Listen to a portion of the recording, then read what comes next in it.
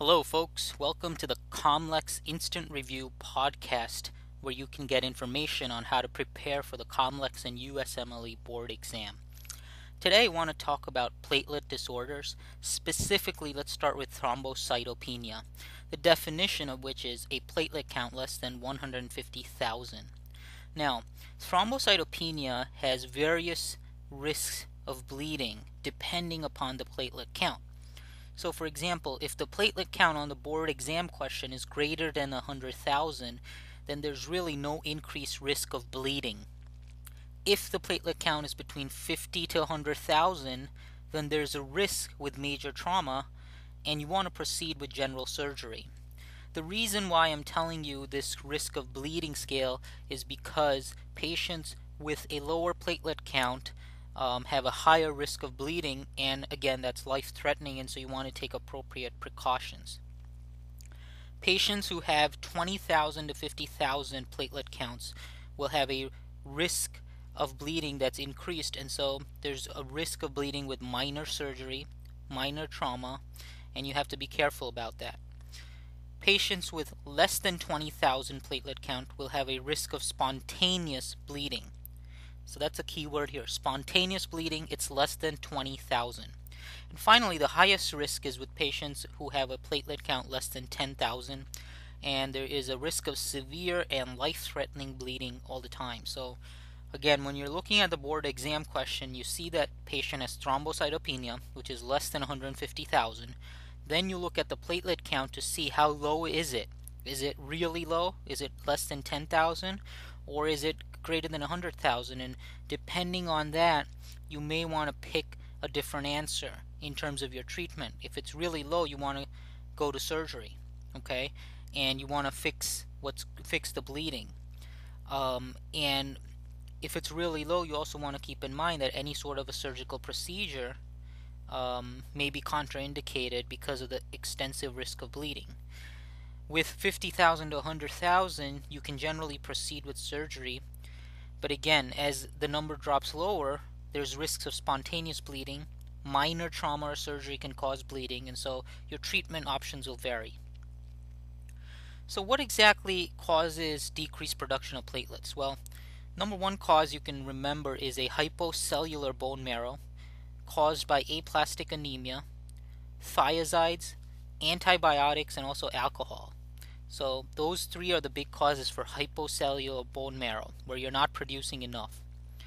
Also, a cellular bone marrow um, would have causes such as leukemia, myelodysplastic proliferative syndromes, megaloblastic anemia.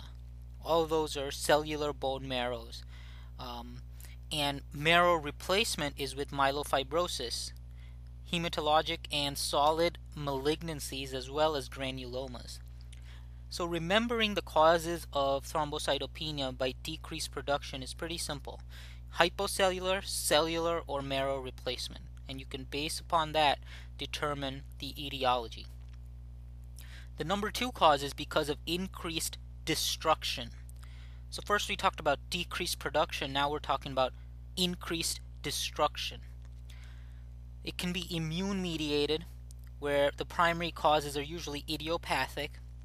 Secondary causes, however, are due to HIV, herpes, um, viruses, systemic lupus erythematosus, antiphospholipid syndrome, lymphoproliferative disorders, CLL, and heparin, um, quinidine, sulfonamides, vancomycin, all those medications can lead to secondary destruction of the platelets. Also, autoimmune, such as post transfusion. And finally, there is also non immune mediated causes, such as DIC, HUS, and TTP. Um, medications like ticlopidine and clopidogrel, vasculitis, preeclampsia slash HELLP syndrome, cardiopulmonary bypass, cavernous hemangiomas. Now, keep in mind that there is abnormal distribution or pooling uh, that can lead to another cause of thrombocytopenia.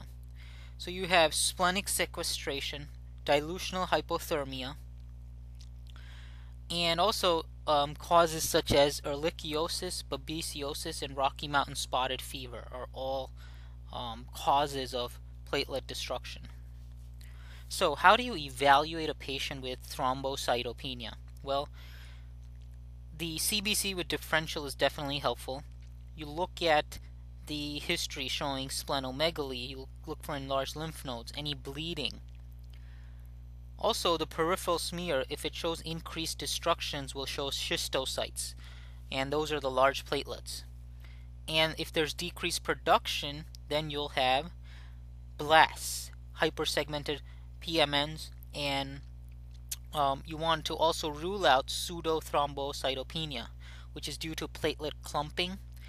And the platelet count in non EDTA containing tube um, can be looked at. And you'll probably see a citrate containing yellow top tube. So if you see those words on the board exam, then you're thinking about pseudothrombocytopenia. Now, let me go over a differential, kind of like an algorithm to help you narrow down your diagnosis. Patient presents with thrombocytopenia. You look at the platelet count and it's less than 150,000. You get the um, abnormal CBC or a smear and you see schistocytes. What are you thinking? DIC, HUS, and TTP should be your number one differential. If you see spherocytes, you should look for Evans syndrome, hypersplenism. And if you look at pancytopenia or blasts, then think about aplastic anemia and leukemia. Finally, leukoerythroblastic appearance on the smear should key you in on myelophthisis. Okay.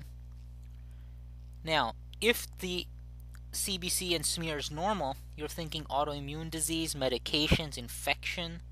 You want to rule out the causes that we talked about previously. Additionally, if the patient comes in with anemia, look at the retic count, LDH, haptoglobin to detect any signs of hemolysis. And if there's hemolytic anemia, you want to check for the PT-PTT, fibrinogen, the D-dimer, the Coombs, and the ANA. Keep in mind that you want to look for signs of splenomegaly and just generalize signs of infection of lymph node enlargement on your physical exam. And that was a overview of some of the differential diagnosis and how to approach thrombocytopenia. Please visit comlexflashcards.com for additional Comlex and USMLE board review courses, podcasts, and lectures.